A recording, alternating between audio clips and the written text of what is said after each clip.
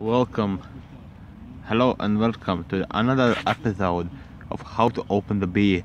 And remember, we don't Drink responsibly. do this shit regularly. First of all, to correctly open the beer, you need to hold on the bottle right. Start with your bottom finger right there, and your other finger right next to the other fingers. Hold on correctly. After that, use your index finger In the moonlight. in the moon.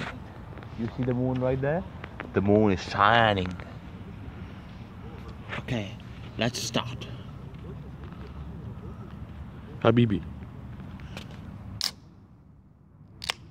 After this sound, you know the beer is yours.